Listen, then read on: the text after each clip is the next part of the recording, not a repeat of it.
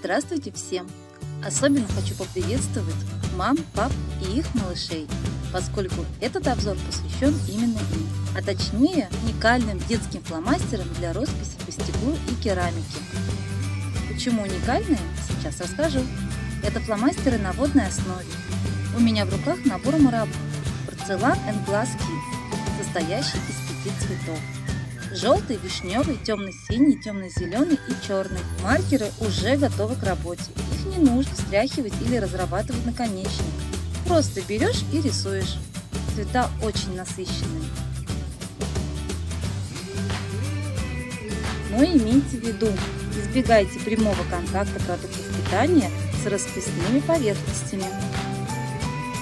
Я подготовила простую белую чашку, чтобы протестировать наши фломастеры.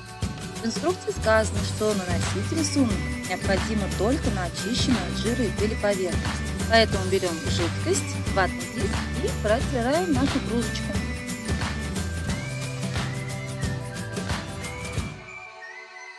Линии ложатся по стеклу очень ровно, прям как по бумаге. Я нарисую радостного праздничного мишку. Если какой-то элемент у вас не удался, вы можете смело взять ватку и протереть. Изображение легко удаляется, не оставляя следов. И можно смело пробовать еще раз. Поскольку камера слегка наклонена, мне не очень удобно рисовать в таком ракурсе, поэтому рисуночек у меня, наверное, немножко исказится. Но наша задача это все-таки нарисовать рисунок, каким бы ни был, стараясь сделать все аккуратно.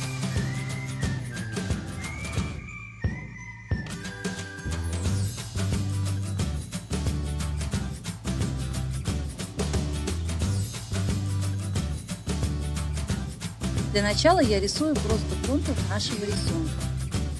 Затем, когда он высохнет, мы начнем его раскрашивать.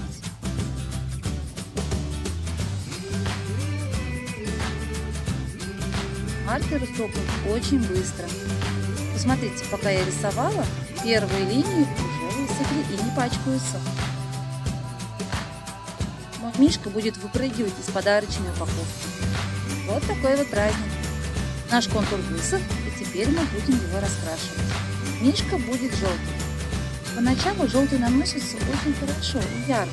Затем цвет немножко пропадает. Видимо, все-таки маркеры лежали у меня в коробке, и краска немножко отошла на каникулы. В инструкции сказано, что хранить с набором рекомендуется вертикально вниз пачком. Но это понятно почему. Так что пока отложу желтенький, чтобы он набирал свой цвет, и возьму вишневый ярко-красный цвет. Он отлично ложится, как мне нравится. Детям будет рисовать очень легко, а это наша главная задача.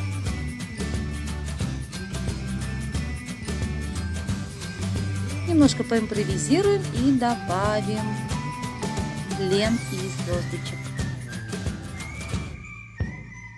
Рисуем дальше.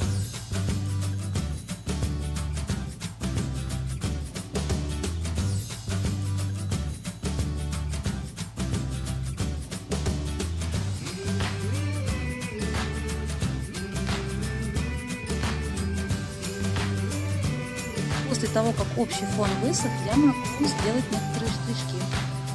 Не рисуйте сразу по краске, поскольку светлые цвета могут испачкаться, а более темные. И цвет получится грязным. Вот такой мишурка у нас получился. Довольно праздничная композиция, не правда ли?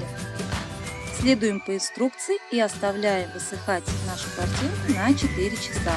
Затем необходимо запечь нашу кружку в предварительно нагретой духовке в течение 5 минут при температуре 160 градусов. А главное, остудить кружку необходимо в этом же духовом шкафу, то есть дождаться, когда она остынет.